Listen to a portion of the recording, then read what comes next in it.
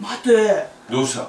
この曲っていいじゃんね。ああ確かに。なんというか心に響くというかすごい共感できる。そうあ今度カラオケで歌おっかうな。わいいね。曲で誰かを救えるのかもな、うん。最高じゃん。ね「